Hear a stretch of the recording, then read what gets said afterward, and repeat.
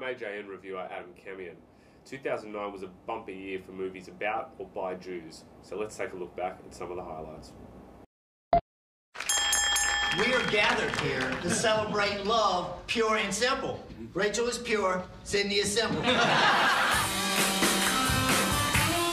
Hey, didn't I see you on Cops? Don't get to sit around for the rest of my life deciding what I'm supposed to be like. Are they gonna play all weekend? Knock it off! Boys!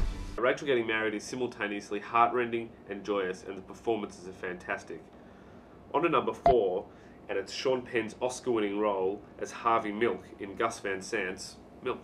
If homosexuals are allowed their civil rights, then so would prostitutes or thieves or anyone else. We could have a revolution here. I don't do losing. You get the first bullet the minute you stand at the microphone. You don't have to go up there.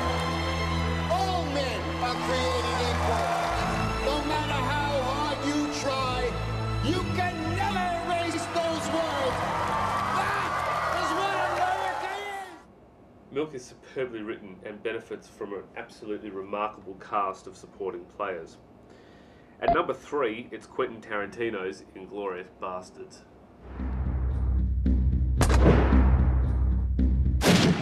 My name is Lieutenant Aldo Raine. And I need me eight soldiers. We're gonna be dropped into France dressed as civilians. We're gonna be doing one thing, one thing only.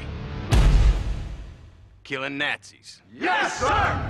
Each and every man under my command owes me 100 Nazi scalps. And I want my scalps.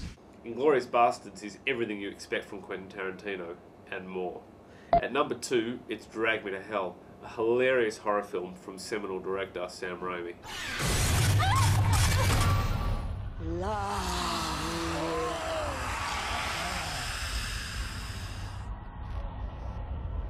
Soon it will be you who comes begging to me. Take me where? To burn in hell for eternity.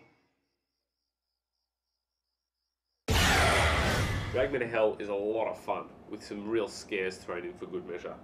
At number one, it's the inimitable J.J. Abrahams, who produced one of the best popcorn flicks of the last few years with Star Trek.